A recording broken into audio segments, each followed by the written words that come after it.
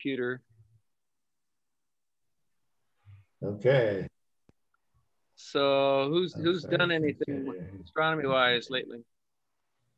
Well, I set up Uh, a telescope to show everybody the hydrogen alpha sun, and I didn't have the right dovetail plate to match it to my mount I was using. So Hmm.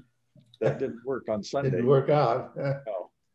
No. Uh, What what what dovetail mount were you using on the scope? Well, I usually I I have a Vixen um, Polar Great Polaris, whatever it is, um, mount, and uh, I use this. The sun telescope is so light that I use that on there, and I I had set up my astrophysics AP 900, and um, that uses the Losmandy D type dovetail plate, and the the um, Vixen uses a much smaller dovetail plate. And I, I thought that the screws would line up so I could mount one on the other, but they don't. So I'm going to have to get out the old drill press and make it fit. right, right. Uh, Good evening, Tim. hello, Tim. Hi. Got a little vibrato effect on the voice so far. Last night I did a little outreach at El Capitan with my uh, our, our stepson, my stepson, and he had a little campground going there. So I pointed out the stars and constellations. So that was kind of fun. Uh huh. How old is he? He's 47. This is his Okay. birthday. Yeah. And At first, I I was was- picturing a toddler, but I didn't remember you had a grandson that young. So I, I have a son, grand, grandson. Son, yeah, I was gonna say, boy, And, and I have, Yeah, an early start. and a, and a grandson, step grandson that is like he's probably 35 or something like that. Okay. So uh, maybe not- not quite that, but you guys started much earlier than I did. Yesterday, Sunday was my birthday, and so I got this T-shirt from my grandson. Ah. Man, he made bad influence. that's a good one. Well, my birthday. oldest, What's my that? oldest grandchild will turn. Uh, she's 29. I can't believe that. Yeah, boy, time goes so fast. Oh, all right. Yeah. I, I wanted to report to you guys about our observatory here. Okay, we got a few minutes. Yeah, go ahead. Uh, th- this has turned out to be a one exciting thing that's happened here. Uh, and I I was writing Tom, I said it, it's ending up being like a, a super outreach for, for this community. Uh, so Why we had a fund drive. Is everybody showing up for it? Uh, listen, eh, the enthusiasm here is amazing. Okay. It is. It's amazing. Uh, so, so uh, since I've talked about this last, we made what happened is uh, to bring you quickly up to date.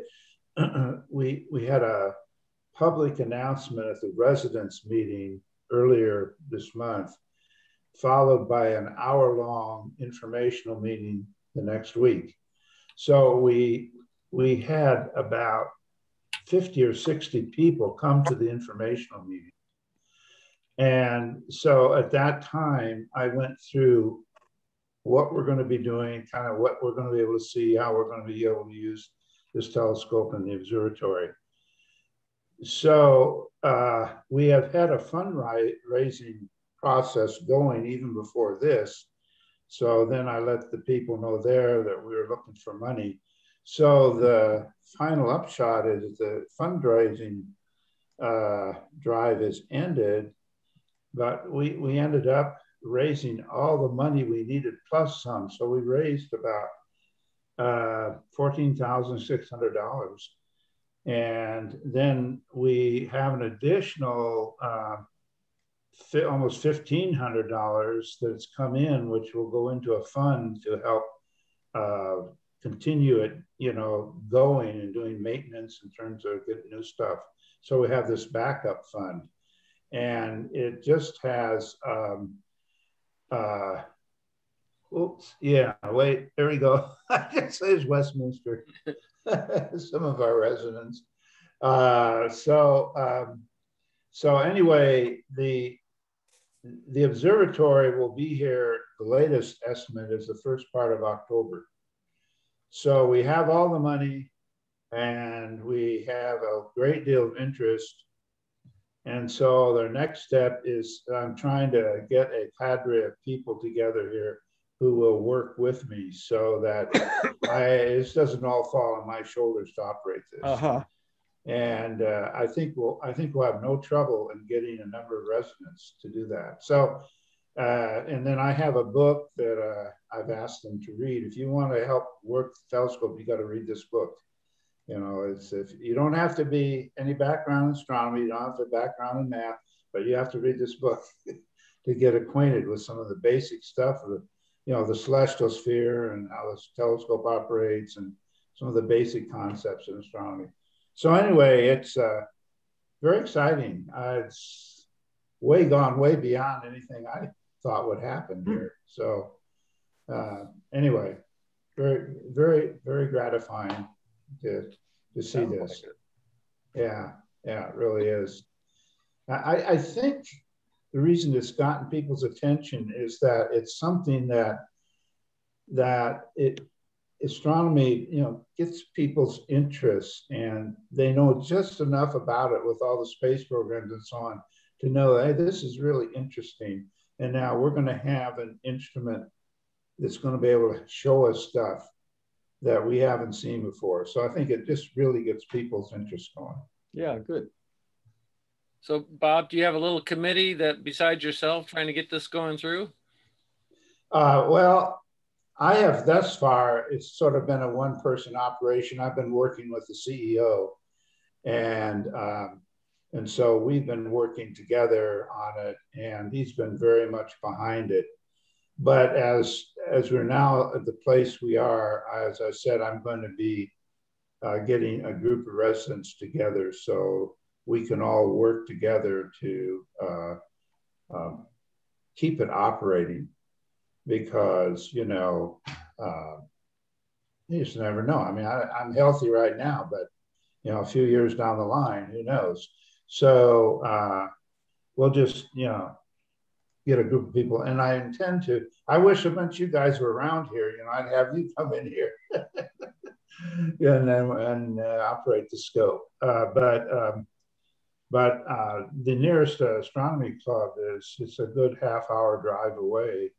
It's the uh, it's the Phoenix Phoenix Phoenix Astronomical Society (PAS), hmm. And uh, so I'm going to be contacting them to see if there's some persons there that might be able to become involved with us. That'd be great. and then and then we have also ASU um, near not too far away, uh, Arizona State. But I think the amateur route is the best way to go because these are people that will be around.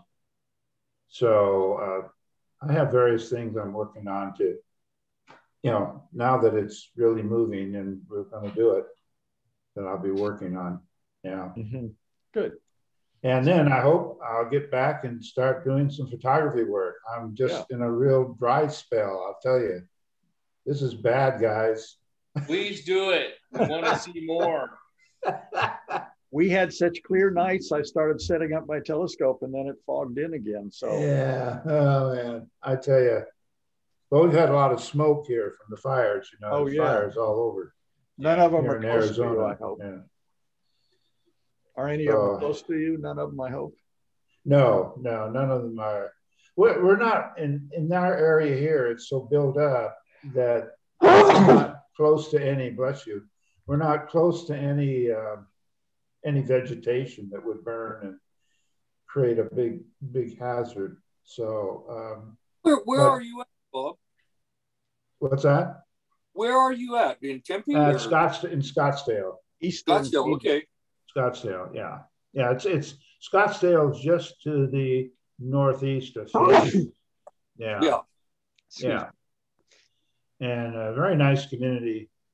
Uh, but um, it, you know, but it's just we still get a lot of light pollution here. However, Well, things are looking Just down the to- just down the hill from you is ASU down there near, near baseline, and and yeah, uh, yeah. is, is that where the is that where the uh, Astronomical Society is located? No, the Pasadena, uh, Pasadena, uh, Phoenix Astronomical Society, Astronomy Society is actually located kind of due west from us. Uh, it's, it's, it's a little bit north. Well, it's just the uh, north part of Phoenix. Yeah, the north part of Phoenix. There's another astronomy club down toward uh, ASU, but it's a little further away.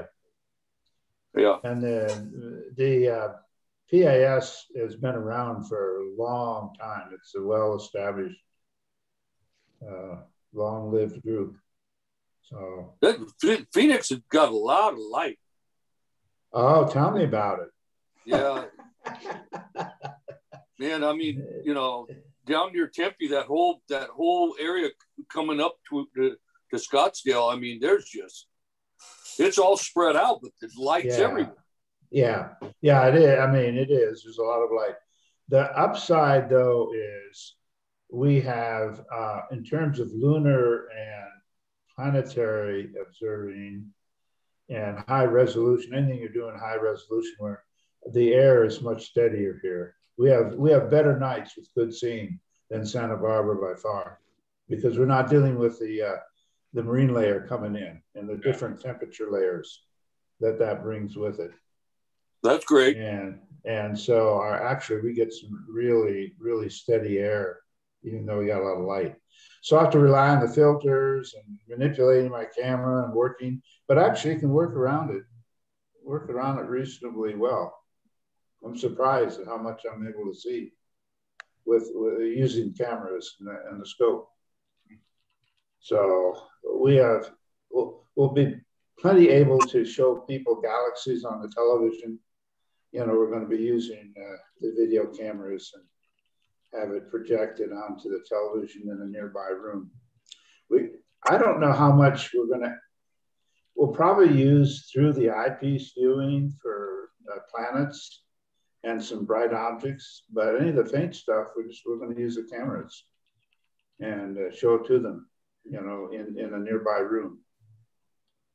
Oh wow. So, yeah, yeah, we're gonna we're gonna use uh, a, a program where we'll be able to to uh, it's TeamViewer. I don't know if you're familiar with TeamViewer, where you uh, you take one computer, you have the computer that's getting the image and data from the telescope, and then another computer is in this room, and TeamViewer allows one of the computers to take over the other one. You actually have on your screen what the other computer has.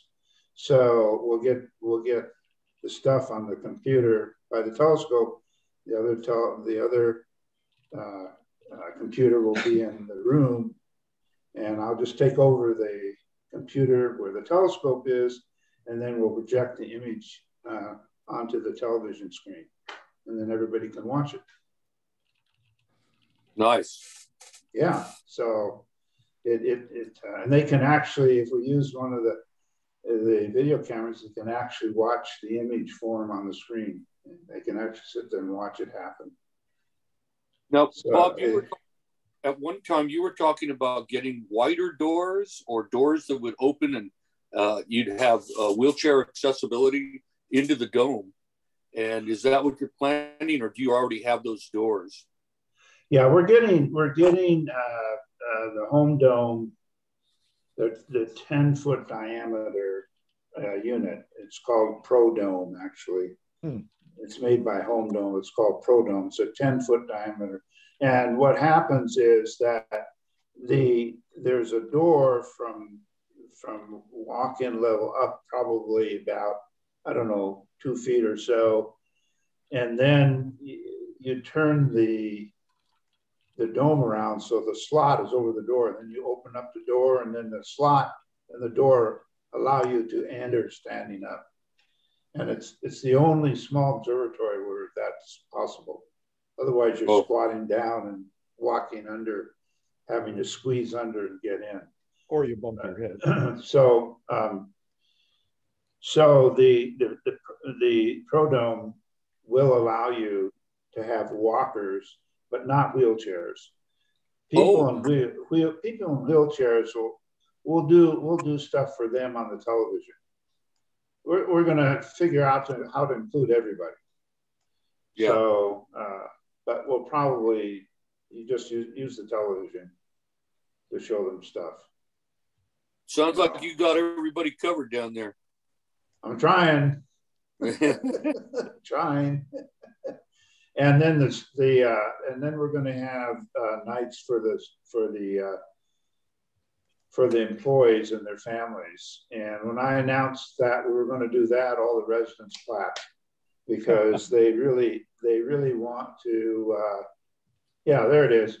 This is uh, this is exactly the design we're going to get. We'll have the three here and this, and then what happens is this opens up, uh, and and there's a door here. The door opens below, and then the then the and then they open up over over the uh, slot for the telescope, and you can walk in. Yeah, yeah. So, uh, but that yeah, that's how to look. But it'll be brilliant white. Uh, that's uh, you can get it. That's that looks nice out in the desert. It's kind of a sandy color, but ours will be brilliant white to reflect the light. We want it as bright as we can get it to to uh, reflect the light away.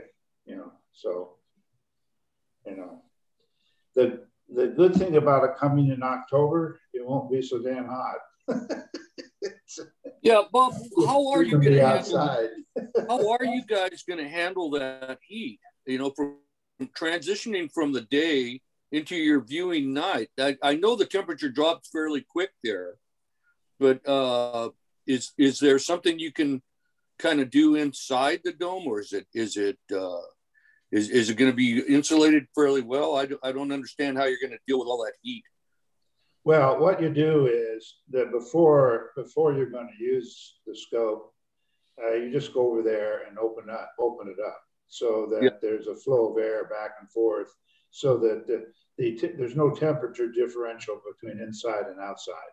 And yeah, Okay. I mean, on these hot evenings, I mean, I've been out there imaging when it's been 95 degrees Right. you know, and it's too it's too hot. I mean, I when it gets this hot, uh, we we probably I mean we probably won't have things out there. If we do anything, yeah, we'll probably be looking at stuff inside on the television screen. You know, I could get get it set up so we can project stuff in there. Uh, so, but it's just too hot to be out there. I mean, Yeah. In Yeah. any case. And if you air condition it, well, then you got a big differential between outside and inside. And then you got an issue of different temperature, you know, gradients flying in and out the opening, you know, and then you got uh, bad, you create, create your own bad scene. So, um, so, you know, it just, there's no way getting around it when it's really hot. So, uh, there are way there'll be ways we, we can deal with that. Probably do a lot more stuff inside. Uh, but uh, yeah, you just just you just open it up, Tim. Let it let it equalize. I what remember- I've heard, go ahead. I remember days we were down there, and, and you know, I, I used to go down uh, to Phoenix with a group of, of guys that were they were teachers here in, in Santa Barbara or or real estate in a Yeah. real estate. Then we'd go play golf down there. But I mean, I remember waking up and it was just freezing. And right next, this Yeah. was March, the good Oh time yeah, yeah, yeah, so Yeah. you know, the, you know, you'd see snow on the hills next, right next to you, and then yeah, as it approached ten o'clock in the morning, it started cooking, and by two in the afternoon, it was like sizzling, and then again at night, you it would drop, it may drop again. So you had Yes. these really wide, wide temperature uh, uh, gradients. yeah, But yeah. Not always, not always, but I mean, no, was but but you're right. I mean, because we don't have any moderating influence of the ocean. The ocean uh, really moderates the whole climate in Santa Barbara. I mean, Yeah, it- yeah. So it, it can't get too hot or too cold. no, we don't have that. So yeah, you, that's why you have these big fluctuations. Yeah. But but interestingly, um, at higher atmospheric levels, the air is is just generally more steady here. Uh, there's no question in my mind because I've I've been imaging, you know, high resolution imaging in Santa Barbara and here, and it's definitely better here. Definitely better here. you know, so. Uh, but but you know, light pollution uh, is worse in Santa Barbara. That's for sure. You know, it's got worse light pollution. Yeah. So so that that that's the update from here. We'll keep you keep you informed. And I get some photographs. We get something going, and I'll send some photographs. We can look at look at those. Sounds great. I got a couple things here. I, I wanted to ask Jerry you know, we were talking about the ray effects that Antares made in the one image that I had last week yeah, of the mosaic. And uh, I think what you were talking about with the felt or whatever that was, the material that you put inside, that yeah. was for the that was for the two inch, right? The IP eyepiece adapter. Um, that was those were those felt things with the sticky backs were from Protostar. But okay. I don't think they I don't think they make that anymore. But I put that inside. Um, actually, in that case, it was a one and a quarter inch eyepiece focuser, oh. but not the yeah. eyepiece. I put it in the focuser tube. But I've also yeah. put it, I've also put it in a two inch, and I noticed that it's the same stuff that um, Al, whatever his name is, that runs. Te, um, Tele Vue. Nat, no Nagler, Al Nagler. Oh, oh Nagler, yeah. Yeah, he puts it inside his telescope tubes. You notice inside your 127 IS, there's no baffles in there. Well, I got this one here. This this is the guy. That, this is the IS adapter right here yeah. that goes to the optical train past that guy right there. Yep. And it looks like it's what would you call this? It looks like it's kind of like a thread inside there. So I think yep, that's yep. a diffuser. So yeah, that I shouldn't need to do anything with no, that. not not when it's threaded like that. That's fine. Okay. The thing that the thing that really is hard to do with baffling telescopes or keeping the stray light down is to get the right kind of a black surface inside. And there's a lot of black stuff out there. There's paints and everything, and they all work really well at high angles. But what you need is one thing that Protostars felt did, and that is it had it a uh, it blocked 90% of the light at one degree of mm-hmm. oblique incidence. So it, wow. there was nothing else that came close to that that I know of. Now, some people That's, mix yeah. black paint with sand and, you know, get a bumpy thing like that. Um, but the sand breaks loose, and I don't like that kind of grit inside my telescope. So, yeah. crushed Jerry, crushed walnut shells much better. Yeah, I don't like anything inside that you that you stick to the inside. To get loose. Yeah. yeah. it gets loose. The heat cracks yeah. the paint and it starts falling down and stuff. So that's why so, I use that felt. So I wonder what it is then. If I've got all this stuff in there, the only thing I could think of could the filter do something weird? You know, it could be you. You know, when I the stray light is a real problem with real images or I mean real instruments for space too. And we have to we had to track it down to, and sometimes it would come down to just one um, chrome color chrome plated screw head that was a minor little screw, and the light hits it right, and the whole place lights up inside. Yeah. Yeah, that's it. yeah. because the filter, I mean, there's only one way this thing can really go together. This is the actual yeah. This is this is the assembly that goes beyond that guy right there. Yeah. That, that has got the adapter for the camera mm-hmm. right there. So I just yeah. can't I can't quite. When I would out. do some take pictures of it, take redo your picture with the right exposure to capture that ray system, and then move. Uh, what was it? The star was Regulus or Antares. Antares yeah. and move Antares to different places in the field of view. Yeah, there you go. See if the rays collapse to always focus on Antares. So yeah, you know, that'll help us figure it out. Yeah. And then I did this, which came out pretty good. I don't know if you can see it very well, but that's the image right there. I got part of it right there. It's like about a 20 by 30. And it Wow. came out pretty good. I Yeah. did that down at Walmart. I put it in the queue system down there, and it was about over a 350 megabyte TIFF. Yeah. Just ate it. Just Dick. no problem. yeah. Dick, can you show that again? Yeah, I can. Let me try to get. Let me try to see if I can get away from it a little bit more. Can you see it? There's a lot of reflections. There's Yeah. too much reflected light. Um, I guess actually probably better to just show the image, Yeah, that would do and good. then, and then I'll show that, and then and then you can see it. But it really came out good. I couldn't I, I couldn't believe the colors that they got. So it was really um, pretty impressive. I like those photos that you see on the walls of restaurants where they're they're made on metal sheets. Oh yeah, yeah, yeah. The painting on metal. Yeah, you know, I tried that. I've got I've got one of the North American done that way, but I don't like it because uh, they they go J, they want JPEG. They won't do TIFF. So this is all TIFF right here, and I was able to put that in. Yeah. And this is a four panel mosaic. In case you guys are wondering what what happened here, using the NP 127 IS uh, seven minute exposures at ISO 800 with a moon Baader moon and sky glow filter on it. And I spent about two nights on each of the of the panels. It went one, two, three, and four. Mhm. And I found some Yeah. kind of this is the ray effect that I'm talking about. Yeah. As far as You can see it right here. Now those rays are those rays are dark. Hmm. So the thinnest part of them is dark. So Mhm. did you use a flat field and a what is the other one? I used a I used the large field corrector Yeah. No, and what I mean- used a filter, a 48 millimeter uh, filter adapter for your flat field. uh, for the field flatteners built into the scope, right? No, but you no, I'm talking about the picture, the flat field picture, where you make, you're looking for um, donut rings and stuff, shadows. Oh, Forgetting.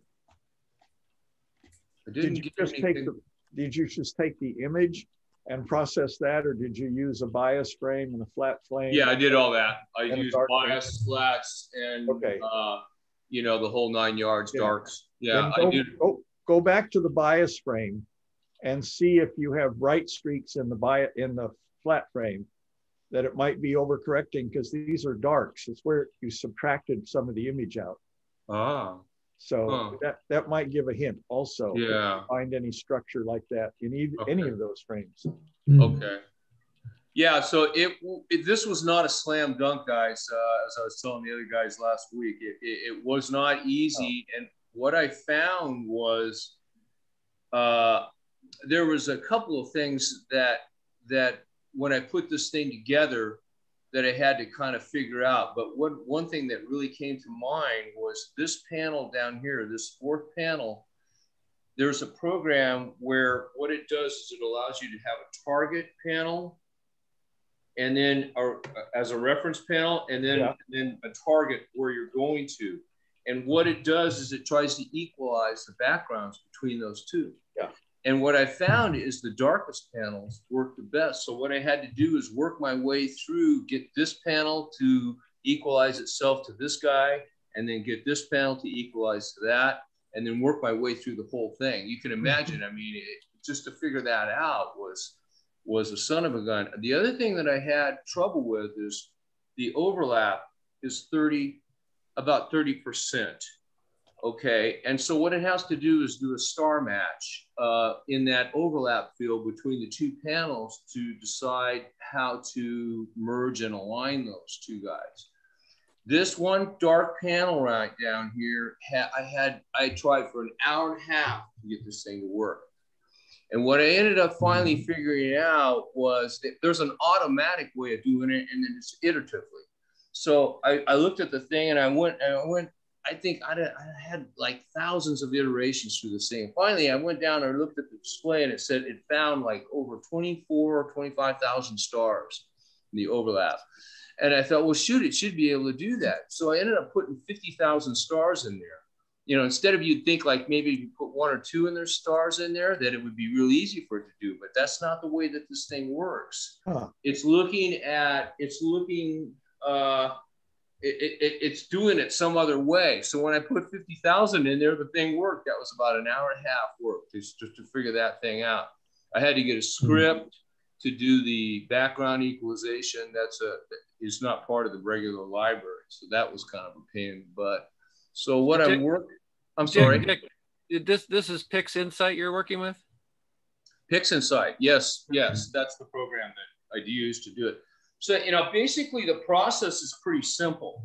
Uh, when you look at it, um, what you're trying to do is uh, you take your four panels and you put them through this one algorithm and you take one panel, let's say you start with panel one, and then you want to see where panel two is.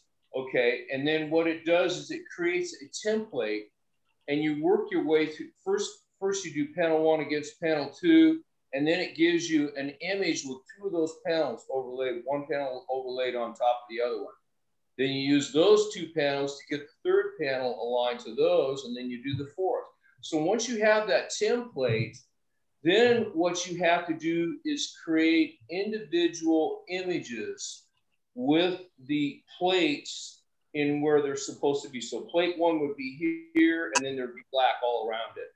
And then plate two would be here, and there'd be black all around that. See? So, and then you get your four different plates right there, and then you put them into this thing. It's called uh, merge mosaic, uh, something like that, where, where you put, and you just put the files into this thing right there, and then it goes through and does all this computation. You got a couple of parameters that you can change and one of them is known as feathering and the other one is shrink. I didn't use shrink, but feathering, what feathering does is it gets rid of a problem known as pinching. I'll show you what it looks like. There's actually still some pinch artifacts on the on the actual drawing. I'll show it to you. Um, I didn't get them all. Let me see if I can go for one right here. Let's see if I can find one. Yeah, here's a pinch artifact. There's actually a couple pinch artifacts. These are pinch artifacts okay? And that has to do with how, when it merges these two, let's say two plates together, there's a corner or there's something, an edge there where it does that. And the feathering uh, makes it so that it, the blending is a lot easier for that to do that. So that that's something, but I mean, it's like way in there, you know? So it, it, would be one thing that you wouldn't really notice. In, in the image that came out on, on the uh, 20 by 30 that I did, it came out pretty well. So let me show you yeah. something else I'm working on. Uh, let me see here. What is that glob up there? The glob is uh, M4. Okay, yeah. so you're so you're actually near Antares. That is Antares. Yeah, that that was Antares. The, the orangey star in there that's Antares. Okay. Yeah, yeah that's Antares. So, so what, this cam- what camera were you using? Canon uh, 6D MK2. Okay. Yeah, second generation sensor, uh, 26 megapixel sensor. Wow. So now this right here is just raw data. I haven't done a dang thing to it yet. Okay, but uh, you know, I think Tim, you were asking about the snake. How come nobody does the snake? I think it was you. Maybe it was no, it wasn't me. It wasn't me. Or snake or pipe. Anyway, this is part of the pipe. The pipe goes. It's there's a that's a glob right there, and then that's okay. about where the pipe ends. And then the pipe continues. It probably goes on a little further. So what I'm going to do with this, this is uh, excuse me. Let me backtrack a little bit. This is a RedCat 51 and I'm doing about seven minute exposures because it's about f4.9 and the, and the NP127IS is 5.2. So they're pretty similar. This is uh, three, I think it's about uh, three nights so far. I, you know, it's been hard to get stuff because it, it, the moon is, is in the way. And what I intend to do is do uh, another panel that is um, uh, below the bottom of where you see right now and and get the entire pipe nebula because there's still a little bit more there uh, yeah. and then the snake is there's the snake you can see the snake right whoops i I can't pan. There we go. Get it over here a little bit here. Oh yeah. You can see it. I, am trying to get it. see, I can't. I can't uh, use the mouse to uh, get there. I got, and then and then you guys are in the way. See, so there it is right there. So the plan plan is uh, probably just a two panel mosaic is what I'm thinking here. Nothing really, you know, too extravagant. Yeah. Uh, it won't be nearly as hard, I think, as the other one. That that NP 127 IS was was difficult. Now this one here is very much hands-on, whereas the other one was shoot from the hip. I mean, I had the camera on there the whole time, and I never even did anything with it. See, so that's kind of shooting from the hip. This one here, I'm I'm processing everything as I go because I want to make sure I get enough frames. It's not about quantity of of shots; it's about quality. So I want to make sure that uh, it, it goes well. The center star in this is Theta Ophiuchi. That's that star right there. So uh, what, what is that? What, what is that again, Dick? The star is Yeah. Theta Ophiuchi. That's what the center of this image is, is, is Theta Ophiuchi. That's that star right there. And then the nebula itself is known as the pipe. Now there's some other dark nebula up here too as well. Uh, let's see. Uh, this is this this is north to the left. Left is north. Okay, so I'm going to be moving this guy east uh, to get the rest of the pipe, and I'll probably be moving to about a, a point where uh, I'm going to say maybe the Trifid and the Lagoon are just out of the field of view. I don't know if I'll be able to get those guys or not. I think it's going to be too close. I, I, I don't think I don't think I'll be able to cover those guys as well.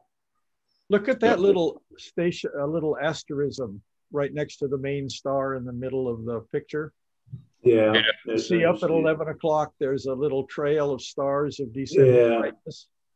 A Now, where are you little talking? You're talking about here, Here, and at 11 o'clock, that would be like right in this no, area. no, more to the left, more, More to the left, here. up, Uh, up and to the left. Up, down.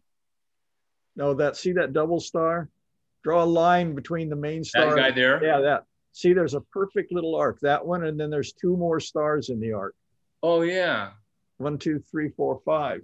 Uh huh. Uh huh. Nice Oh, I see. arc Yeah. Yeah. Accidental arc, yeah. Oh yeah. Huh. Okay, that's called uh, Beam's asterism. Beams asterisk. so anyway, Actually, if, if you back off a little bit, I, I saw it even going out further. It, yeah, see, it goes way It's out. got- it's got yeah, one farther almost out. like a kite. oh Goes further yeah, out. Yeah. There's two bright stars. Goes way Yeah. out. yeah. yeah, yeah. That, that- I think that's cool. That, that should that should be Beam's asterism, right? well, I don't know about that. guy. Okay, tonight's Discovery It's Night. fun anyway. L- Let me show you. Uh, Very NASA nice, website. very nice, Dick. Thank you. So, so, Oh yeah, yeah. That's that's roll you got. Yeah. so I was Yeah. interested. It's it says it says in the article that that dark nebula is only 500 light years away. That's why it blocks. There's hardly any stars there. It's kind of Uh-huh. interesting. That is interesting. Yeah. It's interesting too to see how far that trail actually goes down Yeah. that, that dark nebula. Now that's a case where it, what it looks like the guy has done is superimpose that sky onto uh, a foreground image because there's uh, maybe not. I don't know. Maybe he had that mag- much magnification. Show the lake again, show the water. That Well, is- it's got the reflections in the right area and they're both credible. Oh yeah, he's got that. Jeez, he must have some magnification. That's beautiful. So um, this is not your photo then? Not This- me. this is- Th- th- This is NASA science uh, website. Okay. Ah, it's pretty gorgeous. Well, that's probably why that dark Yeah. nebula goes so far is it's so close. So it looks bigger. Uh-huh. And and that and the stars of course are not there because it it they're behind the cloud and the cloud blocks them. Can't see him. Yeah, yeah. I'm trying to figure out which way does uh, the Scorpio's tail go? Does it go down here? Or?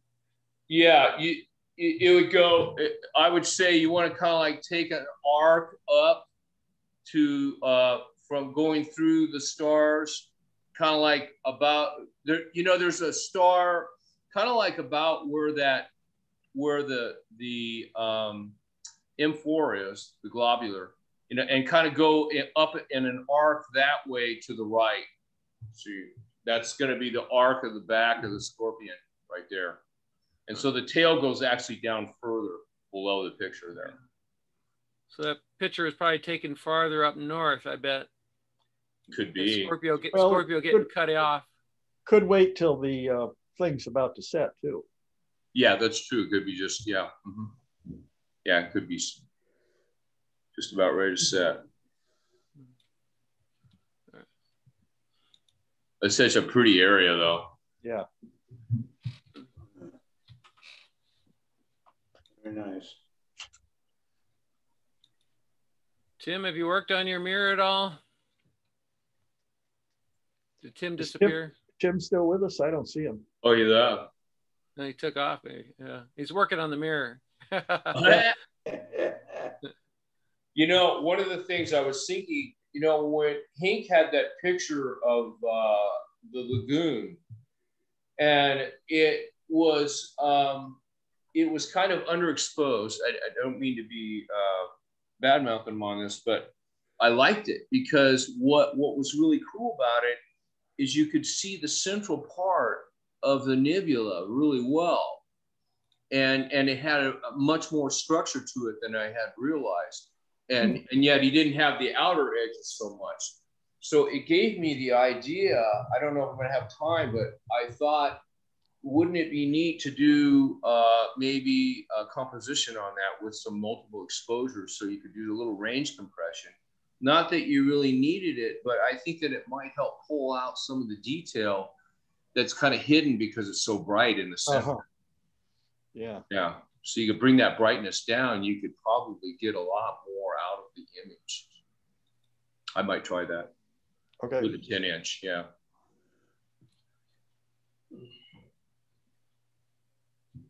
It's good stuff. Mm-hmm. No, I don't certainly don't have any to add myself. I have not really pulled out my telescope for for months here. Oh. been- I came, we're cleaning up our house here and uh, sort of cramming everything into my office, it seems. But um, I found an old set of negatives from when I took, started taking pictures in uh, 1960. When I Oh, was wow. in high school. And I've got, I've got a macro lens on my camera and a light stage now. So I'm gonna take images of the negatives and I'll, I'll have them to show you a few of the things uh, Oh, yeah. next week. We'll, Oh, we'll- this is, you've got film day stuff. Yeah. Okay. got- yeah, you'll all get a laugh out of them. Oh, that's wonderful. So Yeah. I used to the first the first try I made at um, I think I mentioned this before, but the first try I made at a long term exposure was the Orion Nebula, and I had a six inch f8 Newtonian that I built, and then a friend gave me a 50 inch about f10 refractor, and I hooked that up next to it as a guide scope, and I made everything spaced so I could lay down on a chaise lounge and look straight because it was a straight through telescope and with crosshairs and stuff. So I'd try to guide that way. But the thing that happens is, even though I'm comfortable, I tend to fall asleep. Uh, it's not real exciting and stuff. So some of the pictures I got are hysterical. But anyway, so I have some I have some early shots of Jupiter and Saturn and the Moon and um, one of the Owl Nebula that's recognizable. So How, how long some- of an exposure are you talking about? I don't recall. Yes. Um, the Yeah. planetary stuff was about a thirtieth of a second, and the uh, longer exposure ones, I got a, I got a, an, a, there was a lot of in 1960 there was a lot of stuff left over from World War II, and you get this war surplus stuff, and so I found an, uh, a four-inch diameter f6 Aero Tessar four-element uh, lens, which is remarkably heavy, but it was made to cover a nine-inch by nine-inch negative. negative And so I put it, I put a four by five inch sheet film holder at the end of the tube after that and worked out a focusing mechanism. And I'd take pictures with that. Um, it wasn't as highly magnified as with the six inch, so the results don't look as silly. But uh, I got some good shots with that. One I took of the um, Ursa Major and the the, the uh, Owl Nebula in there. So I think that was um, probably a five or ten minute exposure. So well, guys, my my screen froze, and yeah, I've been gone. That. Yeah, I've been gone for the longest time. I have no idea. I may have to leave on my end because something over here isn't working. Okay. Well, but uh, I'm I'm back now. So okay. I see. We, you just disappeared. You know what happened to you. You know, my son sent me a text, and then I tried sending something back saying I was in a Zoom meeting. He never got the text. And I told him I sent you emails and text, and they all failed. I was beginning to think it was something that we said, but no, no, no. no I mean it was really, Dick was right in the middle of saying something, and I, I Dick was saying something, I, and I went, "Oh wow, that's pretty interesting," and and, and there was just nothing.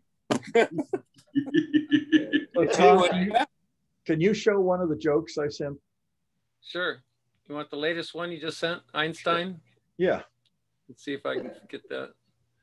Uh,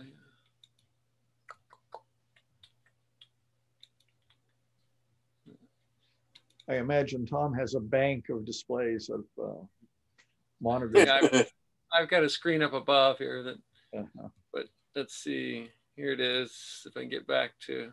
Are you back home now? Yeah, yeah. Oh. So let's see. Share screen. Here's Jerry's latest cartoon here.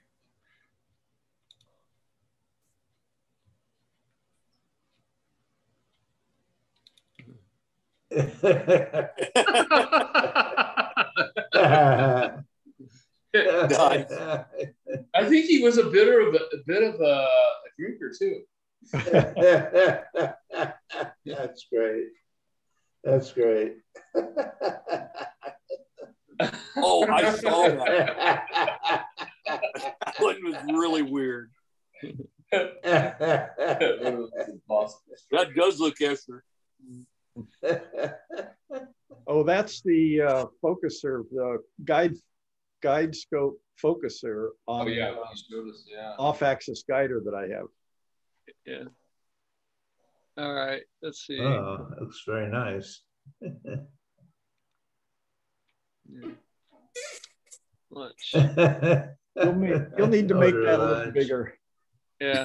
oh yeah, yeah. I saw that one too. I like that. Ordered lunch. All right. It said sorry. I like Alexa said sorry. Yeah. I, I, I like the uh, I like the Hertzsprung Russell by was it XKCD the yeah that you had that was that was kind of cool. You know there was a there was an old uh, uh, restaurant where the old Blue Onion was. What was it? Roger Larson's Fig Tree Restaurant. And on Fridays, I'd go up there after work, and there would be a lot of people come up there, and they had a shrimp oyster bar and really neat entertainment. And I sat down next to some guy, and he just started in on me on politics, and I just said, "God, you know, you go to a you go to a damn bar just to enjoy yourself a little bit, and you sit next to an idiot." And I thought to myself, well, you know what? I'm just going to go down the other end of the bar. I'll go sit next to that guy over there. It looks pretty innocent. And I, I sat down next to this guy, and he immediately started telling me that you can plant anything in your garden. A shoe, and a shoe will grow. A steak, steak will grow. yeah, but what will it grow? I just went up and left. I just said I'll come back next Friday. it was really weird. There's so a I, lot I, of weirdness out there, I'll tell you. yeah, there really is. And I mean, I, I used to, I think Gary and these guys at the workshop, I used to go hang out at bars. I go play golf on, on Saturday and Sunday, and then go to a bar and play darts and drink beer. And boy, you meet yeah. you meet them all there. You just meet them all. one one night, one night we were playing darts, and it was raining out, and a black kid came in and sat down kind of underneath to one side of the dartboard. I mean, it was a dangerous spot. The guy was holding, he had a hood, a hood on for the rain, and he had this giant knife in his in his belt, and he was holding a pink bunny rabbit. And I thought, fuck, man. And I just, oh, I think it's time to go home. You know, So Tim, Is this really happening or did I have too much to drink? oh yeah. I mean, I I literally would say, you know, God, I gotta stop doing this. we have. I I was gotta up ask at- you, I'm I gotta sorry. ask you, I gotta ask you guys, has, has anyone watched the, the, the eleven AM show that Jerry is putting on? That we're putting on at eleven AM on Mondays? I I watch it. Uh, I watch it a lot, a lot, and um, th- there's a couple of Mondays where I just couldn't do it because, I, like this Monday, I was out at Costco with my son, and then another one we have a sick cat and we had to go to the the vet, and so I just I miss those. I just can't can't do it. But, But they're you know how to- You can go look at them. Oh, I Has can, anyone done, has you, have you done that on YouTube? Have you gone to YouTube and look at the shows in the past? No, I haven't. I haven't. Yeah, So that's available. You know, you click Right. on the links on our main webpage, you know, sbau.org, and you can click on the main picture there, our picture, and click on that, and you can take you to the YouTube page and see all our past videos, including the telescope workshops. If you're trying to remember something that goes on in the workshop, Yeah, So- yeah. Um, I run into people now and then that watch that Right. see our podcast. And I looked back on, on YouTube, I looked back at the viewing level, and sometimes we're in the 30s. Now, that doesn't count real live watchers, it counts everybody that looks later. yeah, which Huh. is fine. Yeah. Yeah. Oh, that's interesting. Yeah, well, I yeah, like to watch live so I can harass you guys with text. Yeah, call in. I, Yeah. I don't think I can, right? Yeah, you can. No, no. It, Tim, Tim has has met, made comments, and we've had his uh, we've mentioned his comments on there. But there's like a, a 20, 12 to twenty second delay. But you know, there, Yeah. there's the, there's the YouTube site, Oh, and Yeah. you can see. Oh, yeah, mean, by it's very- call in, I don't mean on the phone, I mean just send us a message. Oh, yeah, Right. yeah. I, I do that all the time. It's it's interesting. Our latest latest one has 22 views, which is higher than recently. Oh, wow. So No, I definitely know- saw something that was at the 30 level. Yeah, 32 back on, there's Uh, 23. yeah, down on uh, Oh, second 32. row, second. to the 32 right there with Yeah. Chuck's picture. Yeah, 32. Below that is 23. So I guess was we ought to probably- show more cartoons. but we, you know, I, I, I started this to put our meeting. Uh, we had meetings in back uh, years ago, and I, I'd record the meetings and put the post those uh, on here. You can see some old meetings, Chuck's a- asteroids, uh, occultations, and things. So that's why I, I started this, and now we've turned it into a an archive of our Zoom meetings. Yeah. Cool. But thousands, thousands of people. I mean, hundreds of people. I mean, tens of people. I mean, a few people. Well, maybe one or two, huh? yeah.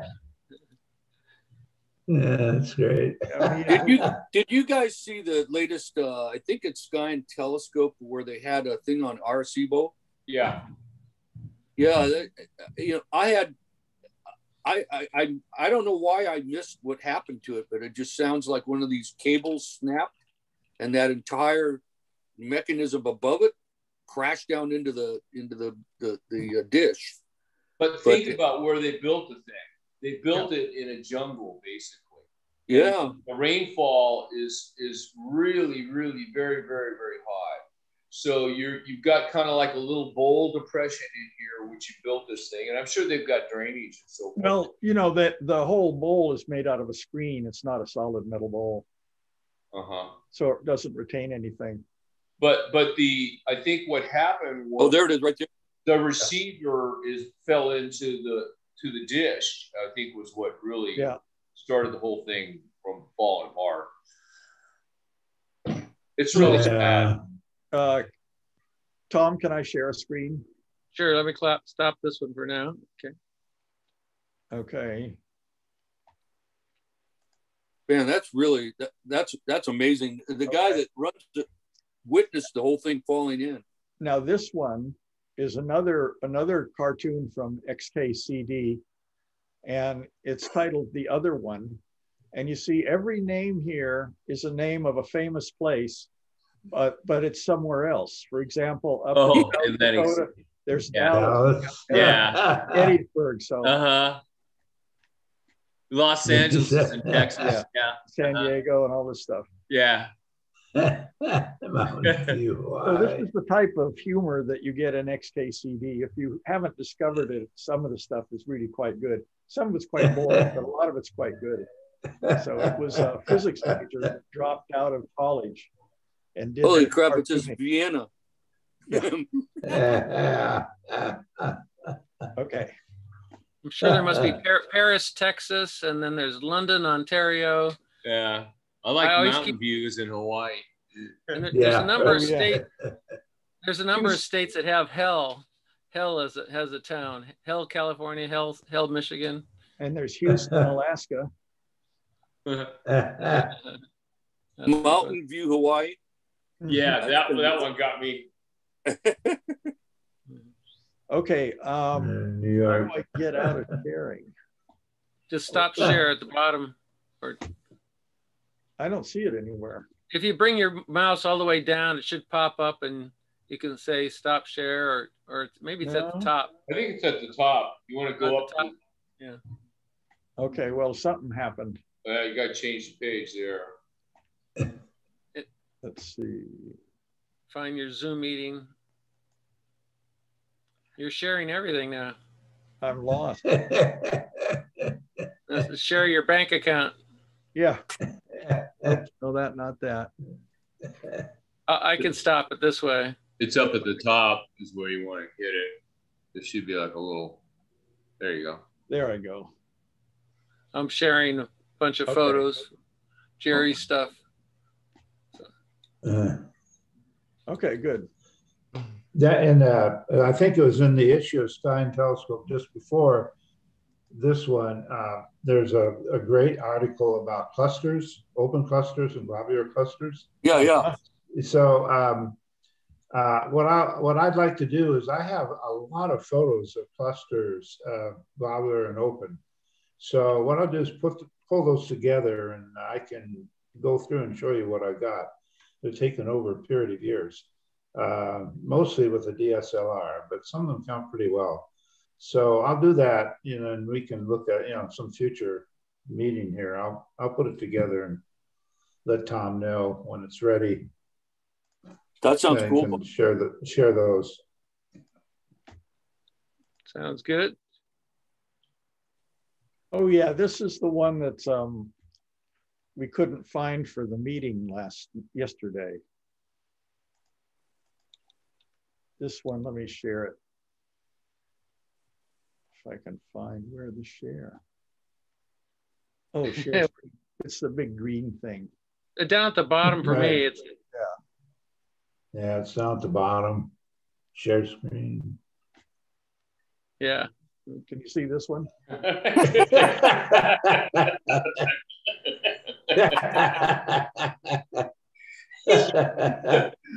there you go. Okay. What, what, what was it? There was a, law- a, a lawyer in Texas who, who had uh, that video filtering on and, and like he had a cat's face or something. Is that what happened? I can't. It was a, yeah, the cat stepped in front of him and the, the thing put together what looked like him with a cat head. And he was in, he was in court, um, you know, talking to a judge. Oh, no. The judge got upset. He thought he'd done it on purpose. And pro- I think it's probably a video filter that you can put on. You know, there's all sorts of filters on the Zoom that you can yeah. add, like, uh, yeah. I mean, I- Okay, so I have a question for you guys. My, my test is too bright. I, I made I used a, uh, uh, an equation that or a formula equate. what did you do? yeah, there you go. How did you do that? yeah, he took his mask off. It's the, Yeah, it's the real Tom right there. yeah.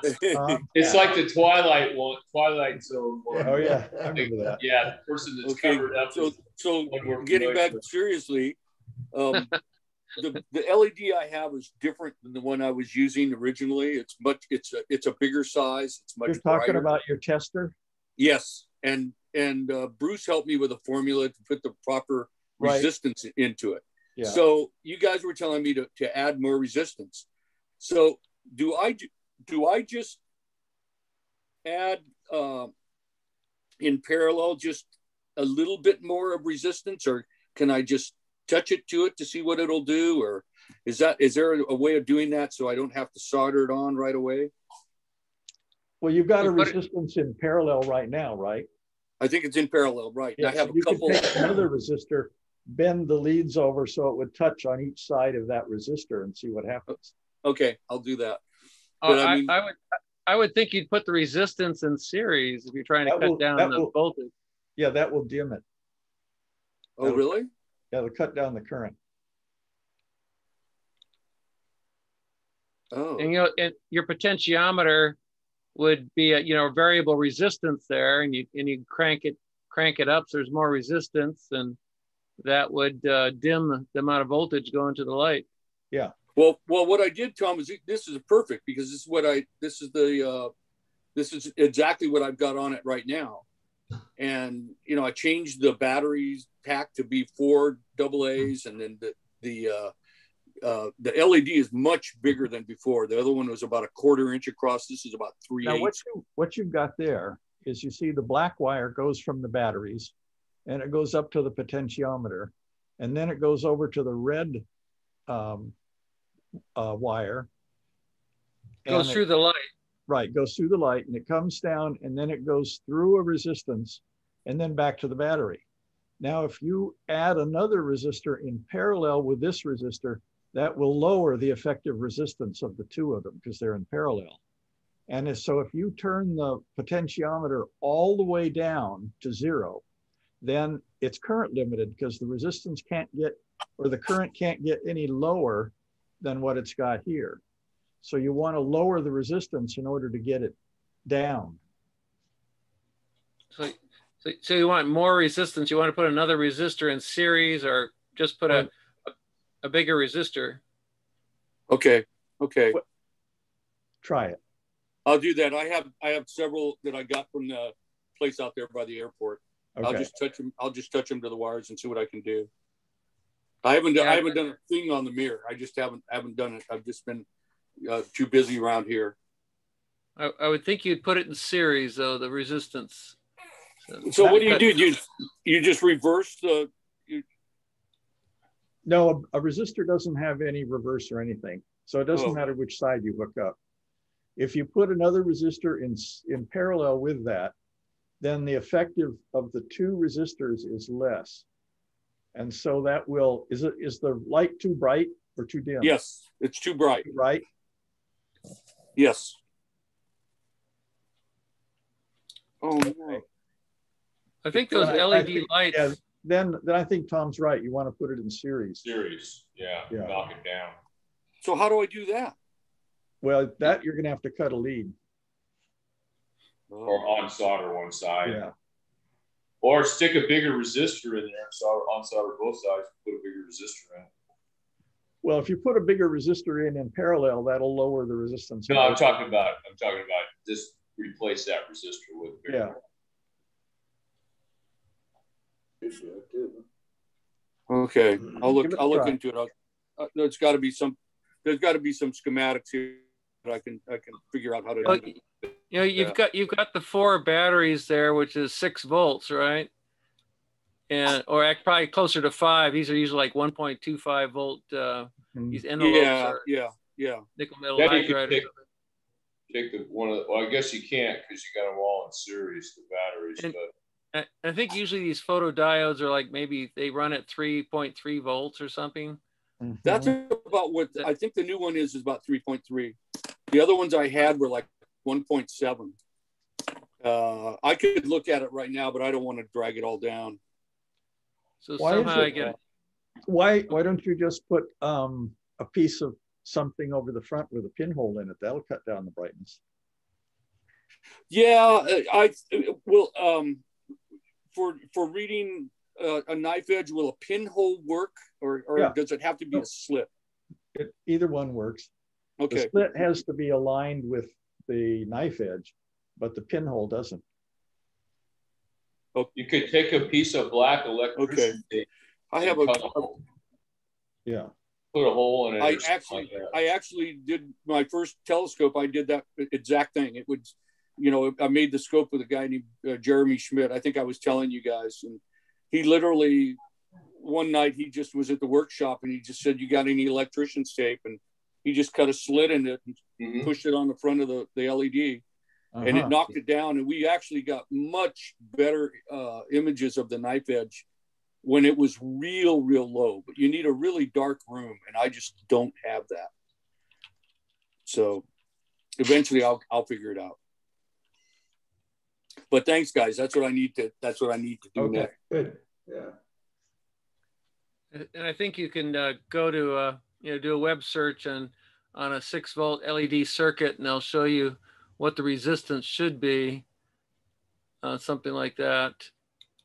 Like here, I'll show you this one thing here. Stop this share and go to share. Share this. Let's see if this is close. That's a nine volt battery. Oh, I got a fan here for some reason. Got a LED, photo LED, 330 ohm resistor there. So it looks like a 330 ohm resistor is what you want to come up with, and and let's and, or raise the resistance to cut down the light. Okay. I have. Or well, of course, this is nine volt, and so if you have smaller, lower voltage, that should five volts, then you'd be that would change the amount of current available, voltage available at least. Yeah, I'm not sure about. I'm I'm I'm, I'm lost. I've forgotten how things work with current going through the LED. Is- Can you vary the current in the LED? How's that Yeah. work? Uh, I V equals IR. Uh, voltage divided by resistance is current. So, oh well, somehow it's got to work.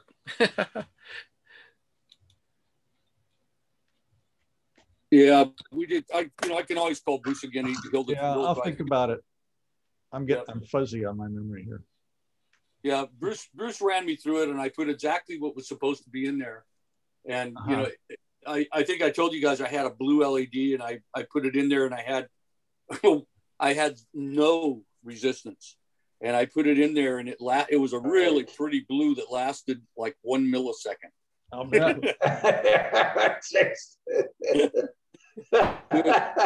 Re- re- re- blue though, It looked great. so I'll try that again. But, you know, I have notes around here somewhere he, that he gave me, and I'll figure, I'll figure out. I'm gonna try. I'm also gonna try and touch a couple of resistors and see what happens. Just touch it to the to, to the ends and see what it'll do. But we'll we'll find out. remember, remember, you got to put the resistance in series to cut down the, the voltage that is going dropping across the photodiode. Well, that's what I'm gonna have to look up is because it, you know, you know, I, I'll have to look up the series because it's just you know when when you're looking at the. Uh, I, I think you just sw- switch poles, right? No. No, the diode, the diode has to be reverse biased. Otherwise it won't do it. It just becomes a conductor. It Uh, won't be a diode. Yeah, you're gonna you're gonna have to if you want to put another resistor in there, you're gonna have to cut the lead somewhere, and then the, those two leads become either side of where that resistor goes. I'm, I'm curious what the uh, resistance of that Resistor making part of the- potentiometer is.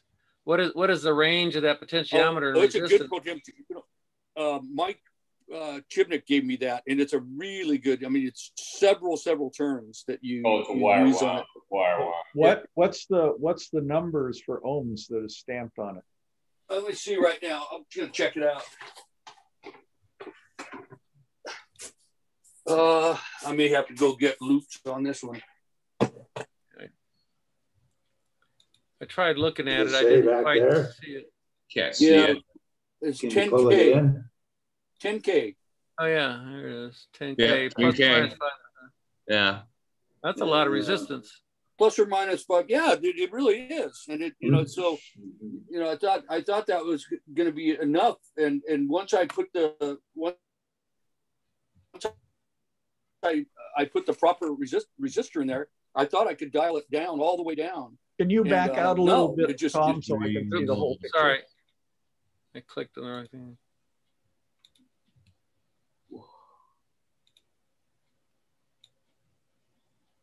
Good. And that's what, what, 130 ohms? Is that what that is? I can't read it. The color code on there. I, I I can't remember my color codes. Bad boys rape our young girls, but Violet. I think that was 150, if I'm not mistaken. I'm not. I'm not. That's it. I think it's 150. That's the color codes. What's Yeah. the uh, what's the voltage on those batteries? Uh, I think there were- it's it's going to be close to six volts um, altogether, but I think they're not a pu- they're not a it's not a um it's not a full 1.5 volt battery. Each one. Yeah, they're just less. Okay. The the the LEDs I have are 3.2 volts, 20 milliamps, 3.2 volts. Okay. And I have other ones that are uh, 2.2 volts, 20 milliamps. They're both 20 milliamps. And as far as the resistors go, I had those stuck in here somewhere. And of course, I didn't write on them. Uh-huh. But I have one larger one, and I could show you here just to give you an, an you know, Hey Tim, uh, Tim, can can you read? the- Does it show you the resistance across the LED? Does it say anything about the resistance across LED? Well, they're 20 milliamps, weren't they? 20 milliamps. Well, no, Oh, well, resistance. No, the Resi- resistance. right. No, I think no. I think you- linear. you, you, you know, diodes. Diodes don't have a resistance like Yeah, that. Yeah, they're non-linear, Yeah. non-linear device. Well, I'm going to try to give you guys a, a look at this if I can. Well, I'm thinking you if what- you put two of those photodiodes in series, that would cut the voltage in half. I mean, they'd share the, the- they both need 3.3 volts, and you got six volts avail- available. That should that would cut the light in half if you had two of them in series. I would just Black electrician's tape. yeah, put a hole in. Yeah, it. yeah, yeah. yeah that's, well, this I can show you. I can show you this. Here's the. Let let me see if I can. Let me see. Why don't you get out of that, and I'll try and hold this up and see if I can show you. Maybe not. We don't want to. We don't want to have too much voltage across his uh, his uh, LED, so it doesn't burn out. So we got to No. make sure that doesn't happen. True. Here, here's a. I don't know if this is going to give you an idea, but here's a here's a resistor I have right here, and I don't. This might be like 250 or something like that. I can't remember what the color codes are, but I do have that. red. I can't really see the colors very well. Hey, guys, there, there, there's a joke that's brewing here, I'll tell you. It's a group of electrical engineers trying to figure out what the resistance are, the- these ohms, and after they Reds talk and too. talk, then, The, um, then they put a piece of electrical tape with a hole in it across. Yeah, famous, That did it. The famous thing that happened at work was we had a conference room full of there PhDs you are. in physics. and Okay, red, black, and brown. So that's uh, and They two. couldn't get the projector zero. going. That's about 200 ohms. I think right there. Yeah, yeah.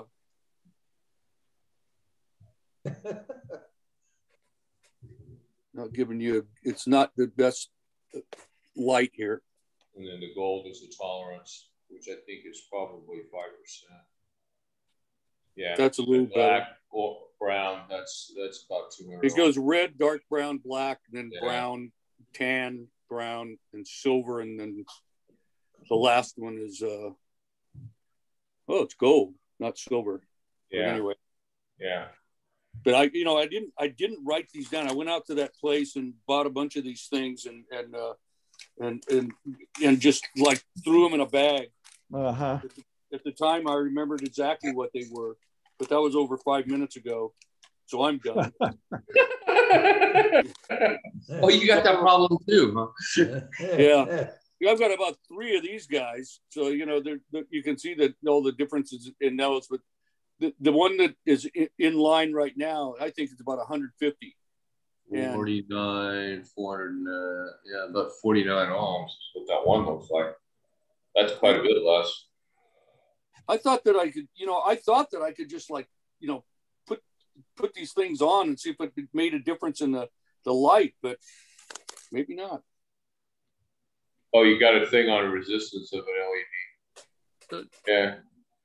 Yeah, it's, it's here. He's modeling about 15 ohms on a, uh, of the resistance across the LED. But That maybe just doesn't do it doesn't do anything when I touch touch it to the wires. The You're probably parallel. trying to you're trying to change the current across the photodiode, maybe. It just doesn't do a thing. Well, is the like you said, so it has to be in series. Okay. yeah yeah you're you're you're already maxed out. You're you're on the uh, you're past the knee Okay. on the curve, so the current's just going to go up dramatically from there on until you burn the diode out. This this right here, just to give you an idea, here I'm going to show you this picture here. If you can see this, if this take a take a look, uh, Tom. Uh, that that oh now get rid of that. That there is Hmm. dialed down all the way. Yeah, that's pretty bright. Yeah, it's very bright. Yeah. Hey, let me let me screen share something for you. Okay.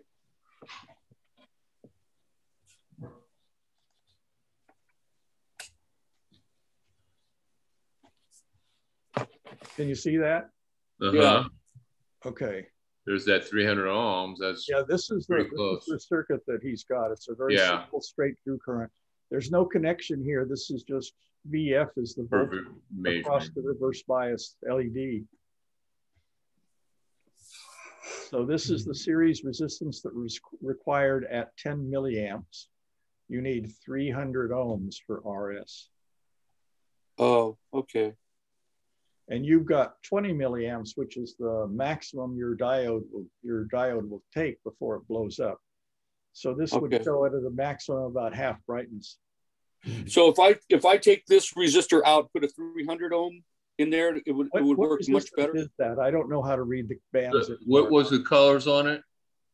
I Uh, saw. Well, you know, like you know the was like- potential the potentiometer is 10,000 ohms. So yeah, that Yeah. doesn't make any sense.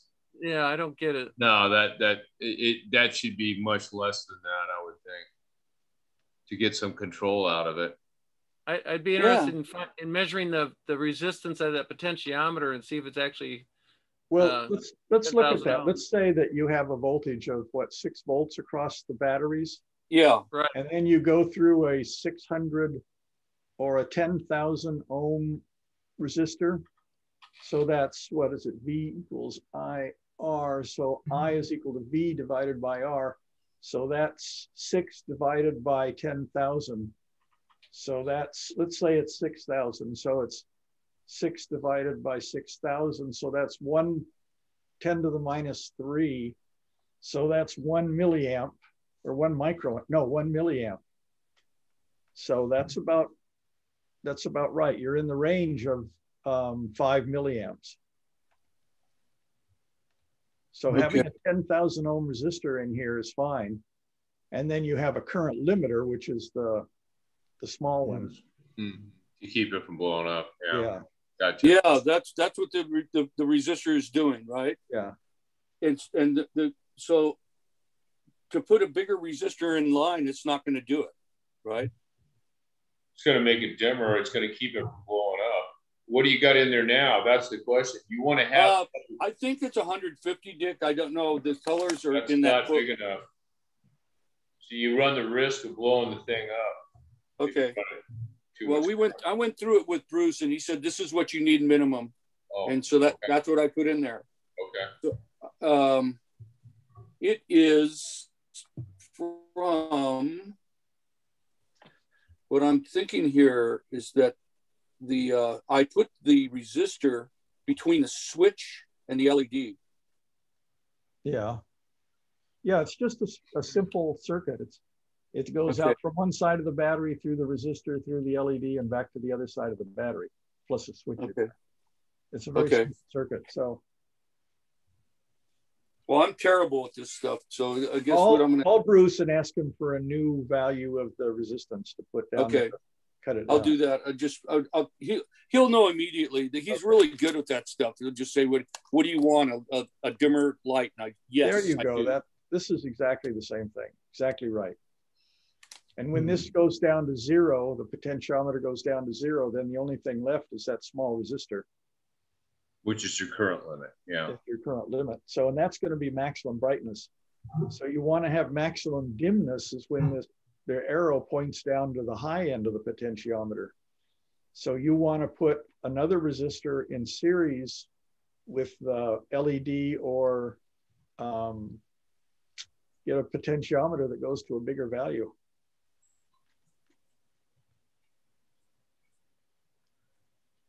There- that's- There must be something that shows us exactly the- the circuit here. 390 ohm resistor, LED, six volt battery, but this doesn't show a potentiometer. No. No, that's with- just the limiter. That's that's running it at let's do the Yeah. maximum. full bore. Yeah. Okay, well, this discussion will go on. I'll work on it and have an opinion next week. Thank you. Appreciate- I so- appreciate it, guys. I'm, I'm terrible at electricity. See you later. Bye guys. Okay. All right, Adios. Good night, calling it good. All right, talk to you guys next week. Okay, see you next week. Tune in. Bye-bye. Bye-bye. Bye-bye. Bye.